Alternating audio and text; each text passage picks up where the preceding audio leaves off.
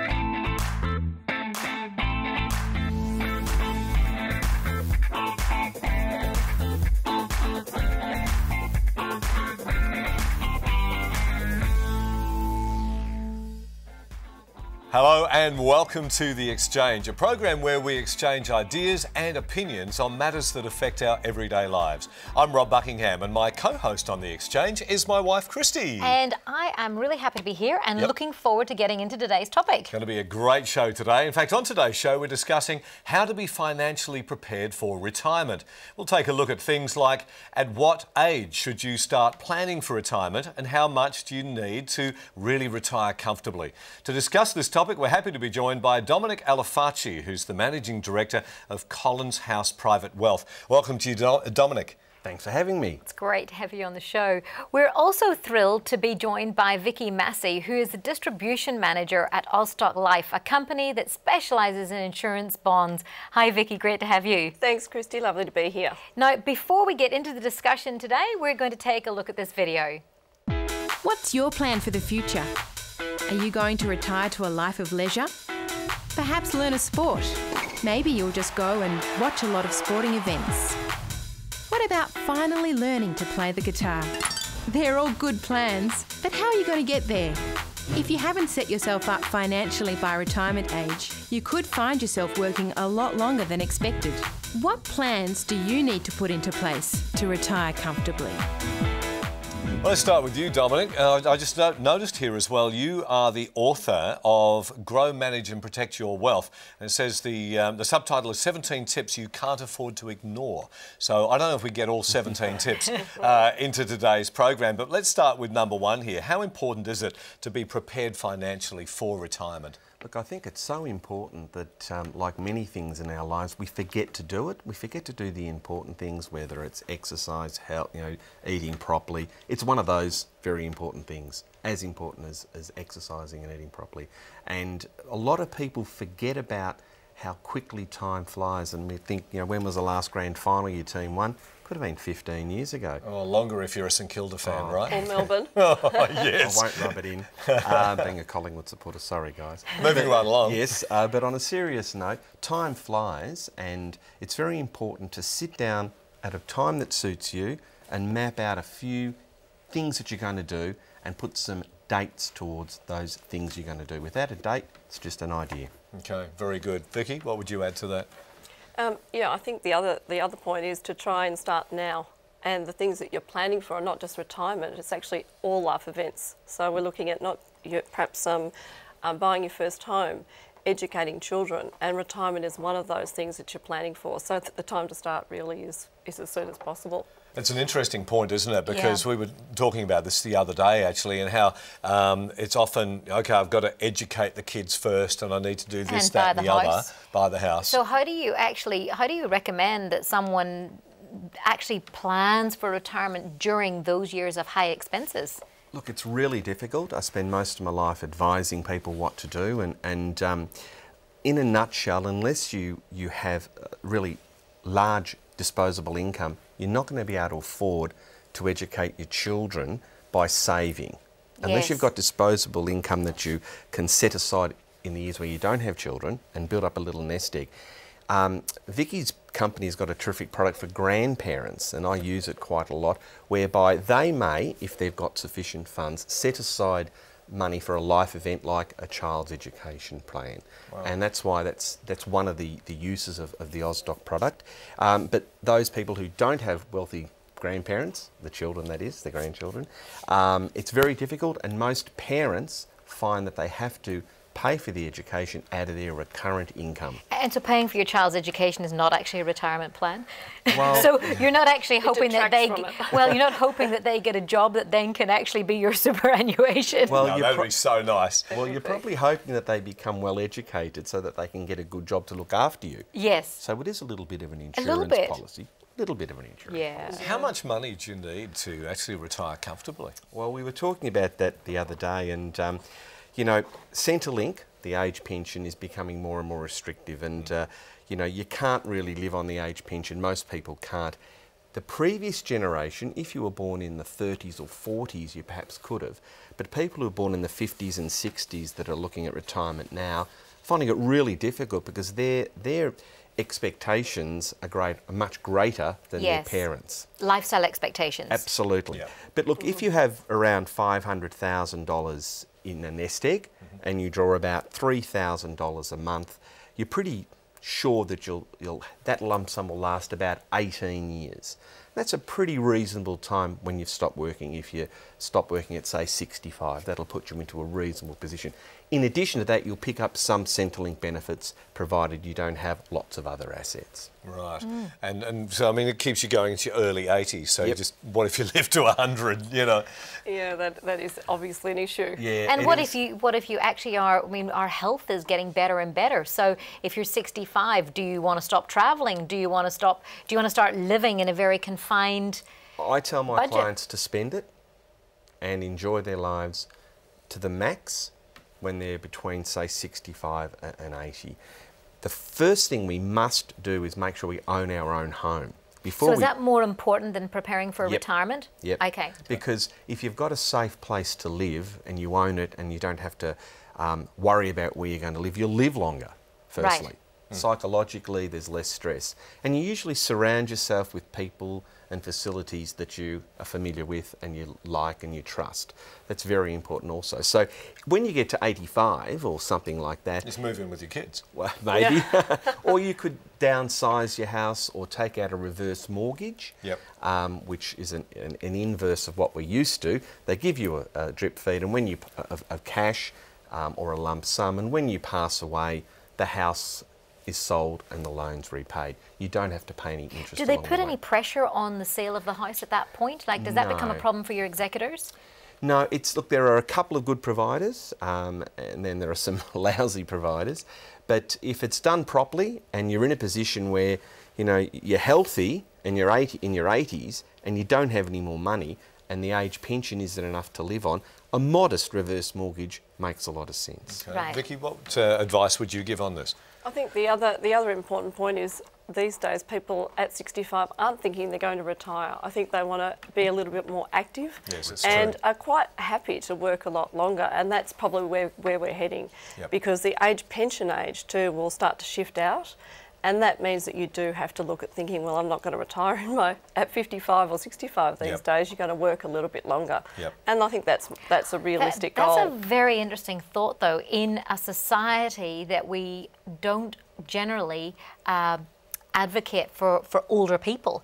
And so, therefore, if a person loses a job in their 50s or 60s, and Yep. you're saying now that people are pushing out retirement later, it's harder for them to get another job or Yeah, to even true. keep a job when you've got a 30, that's 40 true. year old coming up That's true. who wants the position. Absolutely. I suppose the, the counterpoint to that is that people are still looking for that experience. And you know, you do have a lot of life experience in your 60s. That People are younger in their 60s too. Then it is different. It's changing, and I do think there's a lot more value placed on that experience going forward. Yeah, Yes. very true. Now, Christie, you've got a, I um, do. I have a- question that's come through on Facebook. I have a Facebook question which says, asks the question basically, if it's difficult to get people to prepare for retirement in their 40s and 50s, how on earth do you start a 20 to 30 year old? Because the, the ideal would be that you start early. Oh, absolutely, that's the ideal. That is that is a really good question. How do you get people? Because most twenty-year-olds are just thinking about what, what dress they're going to wear to, the, to a party next week, or if Perhaps they're going to what go. trousers they're gonna oh, or go what yes, that's trousers. exactly- I'm so glad you said that. Yeah. Although there's oh. nothing wrong with wearing it. No, absolutely.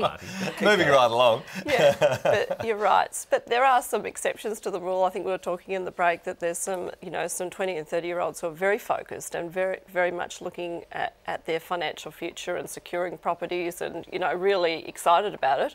But generally, But is there a product like the first homeowner's product where they put money away for four years? If you don't use it for a new home, then that has to go to your super. Is there a product for 20 year olds that, that we can lock something away until retirement? Honestly, I, I would say um, a good swift kick up the pants might be better. Right. because It's a great product. I- I So we you could know, just help some people gui- with that, maybe? Yeah, Yeah. guidance, perhaps no, no violence, perhaps some Yes. guidance um, would be appropriate. And um, explaining to the younger generation that if only I had have done that when I was your age, look what I would have now. Yes. I think that's a very valuable lesson that we can perhaps get them to learn. Yeah. Absolutely. There are financial products that are savings plans, so you don't have to have a lump sum to go into an investment. So some people think, oh, I can't invest because I have to have 50 or 60,000, you know, 50 or 100,000 to go into something.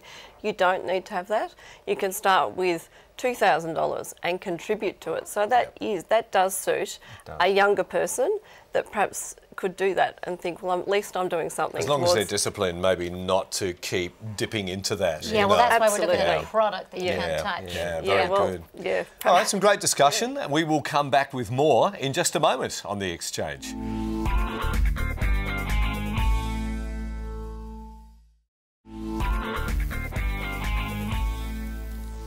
Welcome back to The Exchange. We're having a great discussion here with Dominic Alafaci and Vicki Massey on how to make sure you can retire comfortably. Vicki, what are some of the realistic short-term goals that you can set for this? Yeah, well, as we were talking about in the break, um, your short term goals are actually going to depend on where you are in your life cycle. So, if you're in your 20s, it may be going overseas and buying a car. If you're in Right. your 30s, hope, maybe getting married, hopefully, cross your fingers. Um, or these days it's stretching out. If you're in your 40s, it's often that you're trying to educate children. And then the other goal, probably by the time you're in your 50s, 60s, is to, to be debt free and have your own home. And that was the other things we were talking about before, having your own home, Dominic. I agree. And the other thing I'd say is if you're going to be uh, having a short term goal of buying a home, which is very commonplace, try not to have the best home in the street. Perhaps be a little bit more modest and pay that off and have less debt because less debt means that you're in the market. You've got your foothold on a block of land with a house on it, which is the primary purpose of having uh, a home, obviously, and it allows you then to start saving for those other life events. That's Yes. right. Yep. Let's talk superannuation. Um, what are some of the biggest misconceptions with superannuation? Well, superannuation is often thought as an investment, but it's nothing other than a tax vehicle. It's a bucket in which investments are put in, and it's taxed less than it would be taxed otherwise. So, um, my superannuation went up, my superannuation went down. No, it didn't. The assets in your superannuation fund, the shares or the property, they fluctuated in value. So, it's think of it as a receptacle you put investments in. Okay. Now we have to obviously there is compulsory super that paid Yes. by your employer. Would you recommend people to also top up their superannuation or invest separately to that? Um, there's a pecking order, and depending on how much money that you have left over after you've And paid whether you've paid your house off. Yes. So Yep. pay your house off first, put as much money as you can into superannuation under the limits, and then use the next best tax paid product, which are insurance bonds. So home, non deductible debt first, Yep. superannuation second, tax paid bonds third. Great. Okay. Vicki, Yep. you'd agree with that? Yeah, absolutely. And one of the key things when we're talking about things like superannuation and all of those products is trying to get some good advice on those because that's one of the key mistakes that people do make that they don't actually look at what their goals are and have some financial guidance. And one of those misconceptions with super, as Dom said, is that it's a it's a tax vehicle. You actually need to get some advice on how to then invest the money for your your risk profile and what you're comfortable with. And what, where you're at. yes, Yeah. absolutely. Okay. Well, some great comments. Let's go out onto the street now and see what the people have to say. Can you tell me what do you plan to do for retirement? Well, to be honest, um, buy a Harley Davidson, let the hair out into the wind, and just cruise. We look at investing in property over the next 20 to 30 years and try and use that as a bit of a nest egg, really. Well, hopefully uh, the super keeps building up. Uh, yeah, no, I started work when I was pretty young, so I've already got a little bit of super there, and hopefully that, yeah, keeps building up. Oh, I'm probably just going to be a tattooed old lady sitting on my porch telling people to get off my lawn. Uh, not at this stage, but I have had a few thoughts about what to do. What are your plans for retirement? I'd like to say I have some, but I actually have none, which is a bit frightening. Can you tell me how much do you think you'll need financially for retirement? I think to be safe, 50 will do, $50,000. No, no, just for the bike. But for the whole thing, uh, look, I can tell you what I'd like, and it'll be with, uh, with quite a few zeros. 30,000 a year, so I couldn't do the maths, but yeah, how about that? I guess we'll probably need 800,000, maybe, maybe to a million. That's probably a nice settlement. Oh, a ridiculous amount. Yeah, absolutely ridiculous amount. Do you have any idea how much you might need for retirement? Nah, not really. Enough for a caravan, I guess. No, I haven't really thought about that yet. Just in the middle of having kids at school and, and spending all our money on that at the moment. And when do you think you might start? Um, I guess I should start now, but I think it's not something that you really think of while you're young. Um, probably when I'm 40, 50 plus. Oh, some interesting comments and opinions from the people out on the street. Our Street Talk reporter is Sandra Cavallo. Welcome. Hello, how are you? Really well. Uh, how did you feel, how realistic did you feel they were, Sandra, from your opinion? Oh, totally. Um, I was actually um, not surprised at all by the responses. Um, I think majority of the people were like, yeah, no, not planning for it, um, Mm. not really thinking about it, um, either because they're raising a family and so they're locked into that, or, commitments. or they're young. Oh, they just want to buy a Harley and... Yeah, Oh, right. what did you think, Dominic, about the um, amount that that guy said, 30000 It didn't sound like a lot of money. Where would that sit in, to th- retire on? I think 30,000 a year, I think is what he meant. Right. Um, and for a comfortable retirement for a single person, he's not too far out. 36,000 or about 3,000 a month is reasonable for a modest retirement, I should say. If you So- own your own home You already. own your own home? Yes. Yep. You're getting 3,000 a month. You can live reasonably comfortably. And of course, it would be better if you were husband and wife because then you combine the, the retirement income. Yeah. Absolutely. Sandra, what struck you from what you uh, heard from the people out on the street? I think the key thing is the young people actually, because it's not something that young people think about, and and if they're not planning for it now, when will they? Um, so I think that's really just like wow, you know, I needed to even take stock of myself. You know, am I am I starting to plan for my future? I think that's the, the key thing that really struck me. There was a lady that was interviewed, and I imagine, I mean, she looked like she was in her 50s. I hope I haven't got that horribly wrong, especially if she's watching right now. Oh, my my humble It's all good. apologies. It's all good. But uh, she said she wasn't even thinking about it Yeah. at the moment. Is that a common thing? Uh, yeah, I think so. I think I think she was also saying she was caught up with raising children and just paying the BAS statements, and I think that's absolutely typical. People do get caught up with their day-to-day life and what's happening next week and the week after, and forget that they've got to be thinking some long-term goals as well. But I think, is it fair to say that people don't actually see the purchase of their home as a superannuation plan? Because it is. It is. It's one of the best tax-free assets you can have, provided you buy wisely and in a good area. Um, and I think that's probably at the back of their minds. They think, well, look, if all if it all goes to dust, I'll just sell the house. Yep. So it's a good cornerstone asset. Are people generally just thinking about the instant and what's immediately Yeah. in front of them? Exactly what you said before, and the, the interviews indicated. Look, I would see plenty of people who wake up one morning and say, "Gee, I better do something," and you say, "Why didn't you do this like five, ten years ago? If only." Yeah. But it's just human nature. Yeah.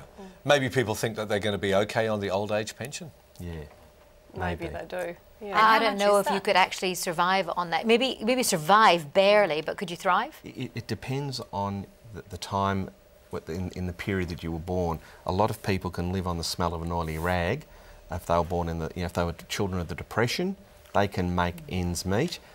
More affluent people like ourselves, born in the 50s and the 60s and the 70s, like these two young ladies, um, you know, there's no way in a million years they're going to live on the smell of an oily So rag. we're going to need to have a little bit more in the kitty to retire need the oil comfortably. well. Right. Not the oily I rag. want the boat, the house, the Absolutely. holidays. Sandra, thank you so much for popping in. Thank you. Thank you. It's wonderful. We'll see you next time. And we'll be back with more in just a moment on The Exchange.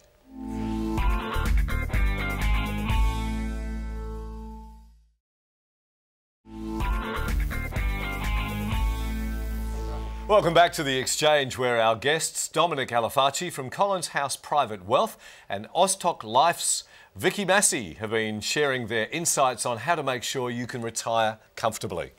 Vicki, you mentioned earlier about getting some good financial advice, but for some of the people listening, uh, you know, where do you start with that? And is it out of the reach of most normal people who, Yep. you know, are thinking about it? Yeah, I think that that's a really good point. I think it is out of the reach of a lot of people because you do need um, some money set aside to pay for financial advice because if you want good advice, you do have to pay for it.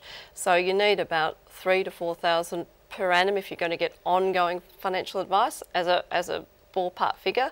But Dominic was talking about that you can now go to Centrelink and they've got some assistance there.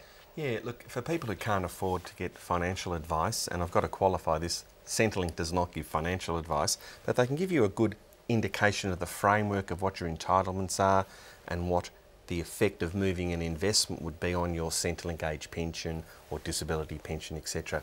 Now, these poor ladies and gentlemen are under big demand. They're called FISOs, Financial In Information Service Officers. So give them a go. It takes a few weeks to make an appointment to see Yeah. them. So be patient, but they do provide really, really good assistance and it's free. And so, what kind of money would you be talking about if you were looking at going to a private uh, financial planner? What kind of money would you be talking about that you'd be asking them to look after for you? Well, it's really interesting. It's not the amount of money that it used to be a percentage of the amount of money, and for, a firm like ourselves, let's say half a million would be the minimum. But really, you don't have to have the money. You just need to have the ability to pay for the advice. So, as Vicki said, three or four thousand dollars a year is about where it starts at. Um, and that gives you good quality independent advice with all the commissions refunded and all the benefits you know paid back to the customer so that they can invest knowing that the advisor isn't conflicted. And so, that advice actually should pay for itself Yeah, well over the sometimes years? sometimes sorry Vicki to cut off cut you off there, but sometimes the best advice is to do nothing. Sure, Right. absolutely. Mm. Yeah. Absolutely. Yeah. Vicki, you'd like to add in Yeah. to that? Um, I think I think we were talking in the break that even if you saved, you know, the uh, the cost of a cup of coffee every day, just made a start. It's about just trying to start from today, going forward. So, go from doing here and buy a thermos. Yeah, that's it. That's what we're saying. That's it. Absolutely. A cheap Just- thermos. Yeah, yeah, but No, just it has to last a long time. Oh, that's true. Yeah. Okay. but just do something. Profound advice. Yeah. A So, high quality cheap thermos. I'm convinced. But so what you're saying is starting somewhere, right? start somewhere. Yep. Start somewhere. And as Dominic said, it may be that you do nothing, but just start just start being living within your means. Something simple like that. Which a That lot would of be novel, do. I would imagine, for many Yes. people. Uh, last financial seminar I went to, the man that was speaking said that most people lived around a third beyond what they earned. And so, you know, people say, if I earned more, I'd be better off. Uh, No. That's a myth because they then stretch their expenditure Yep. accordingly and as also, well. the Financial Planning Association have got some great um, uh, tools on their website. Money Smart is a terrific way to help young people make those difficult decisions, whether they buy the new fancy pair of Ferragamo shoes or they go and I'm buy impressed the that you. I'm impressed that you know about those beautiful Well, shoes. they're Italian, aren't they? Sorry. Yeah. Uncle Uncle Ferragamo. No, no, joking. If only. If only. be nice. If only. Yeah. To- So what you're saying is doing something, Yes. and I think that's why somewhat sometimes we do nothing mm. Yes. because we can't. Uh, we can only do a little thing. in the s- Can, can I just butt in there and ask a question? Talking about Uncle Ferragamo, how much should we rely on inheritance for our future? Good question. Mm. mm. And we'll finish on this. We've got to go. in It's just something that you don't want to rely on, but if it's inevitable, you should take it into consideration. So don't stress yourself out too much if there's No. something on en route. Yes. Okay. Yeah. And I think now with aged care, which we were talking about before too, which is a very complex area, yeah, you should definitely not be re- relying on that inheritance because people are having to pay for their own aged care. So that is often what you're thinking is your inheritance is being Yes. used for aged care. So I think you yeah don't rely on They're it too much. They're spending it all. They are. Yes. And yeah. living too long. yeah. Wonderful. Some great advice today, and uh, Vicki and Dominic, thank you so much for your Thank time. you. Thanks thank for you. having us. Thank you. Please go to our website for the fact sheets and for more information about this show, The Exchange. We look forward to seeing you next time. Take care.